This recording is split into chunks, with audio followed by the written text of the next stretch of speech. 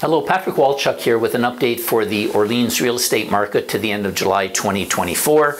And if you enjoy getting these videos, hit the subscription button, notification bell, and we'll make sure that uh, you get notified of them at the beginning of every month.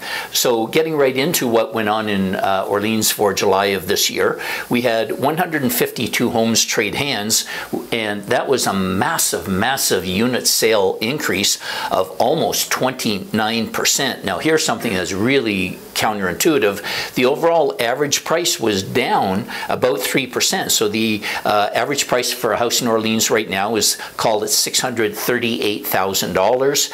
And when we break that down into residential and condo, so for residential freehold, the average price is $696,000, and that's a decline of 4%.